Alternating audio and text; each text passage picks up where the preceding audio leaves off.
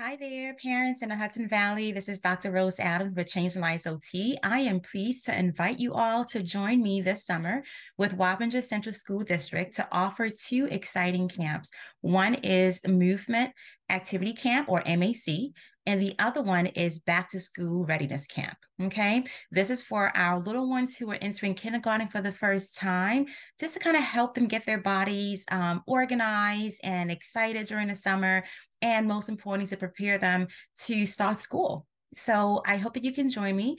I will be posting the link uh, relatively soon with Wappingers Central School District where you can register with them directly. And I hope to see your little ones there. All right, take care. Bye.